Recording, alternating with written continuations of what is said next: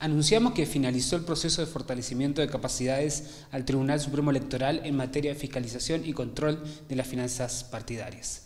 El pasado 3 de diciembre se llevó a cabo el acto de clausura del proceso de fortalecimiento de capacidades del personal del Tribunal Supremo Electoral en materia de fiscalización y control de las finanzas partidarias. Este proceso académico fue implementado por el Tribunal Supremo Electoral con el apoyo de la Comisión Internacional contra la Impunidad en Guatemala y la Fundación Conrad Adenauer. El objetivo de las jornadas de capacitación fue fortalecer las capacidades del personal del Tribunal Supremo Electoral que tendrá la responsabilidad de ejercer las nuevas funciones en materia de fiscalización y control del financiamiento de los partidos políticos en cumplimiento de la ley electoral y de partidos políticos.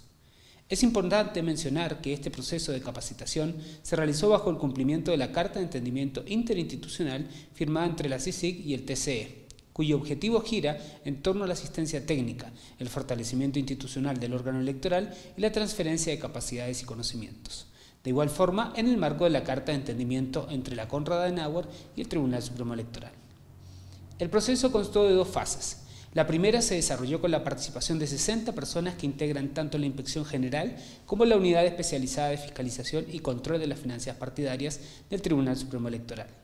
En total fueron ocho sesiones académicas impartidas por expertos nacionales e internacionales de CICIC y consultores de la Conrad Adenauer.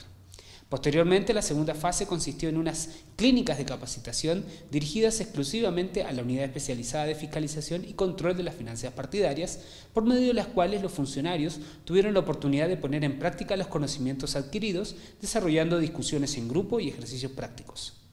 Los temas abordados en todo el proceso de fortalecimiento de capacidades incluyeron buenas prácticas internacionales en materia de fiscalización del financiamiento de las organizaciones políticas, marco jurídico general electoral penal y administrativo, nuevos métodos de investigación y análisis financieros, lavado de activos y su relación con el financiamiento electoral ilícito, entre otros.